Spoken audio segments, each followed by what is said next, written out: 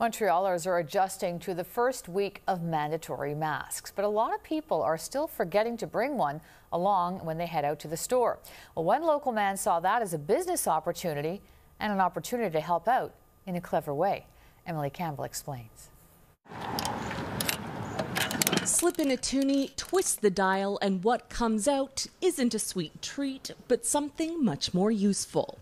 The idea is that if you forget your mask or if it breaks and you're already out in the public, it gives you a perfect time to buy a replacement.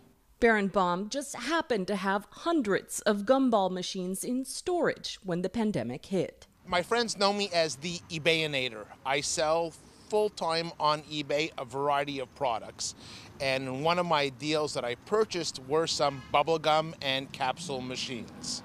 With masks in high demand, he packed his gumball machines full of them and started setting them up around town. I, I think people who don't want to wear a mask won't wear a mask, but people who have had their mask broken or break or forget it, there's no reason why they can't go into the pocket, put in a toonie, and then have a mask and make everybody happy.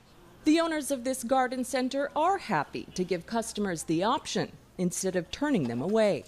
People sometimes they just forget about it and so when it's available they just use it and that's fine for us. Mm-hmm. So it's good for them and it's good for us. So we're, we're happy to have something like this here.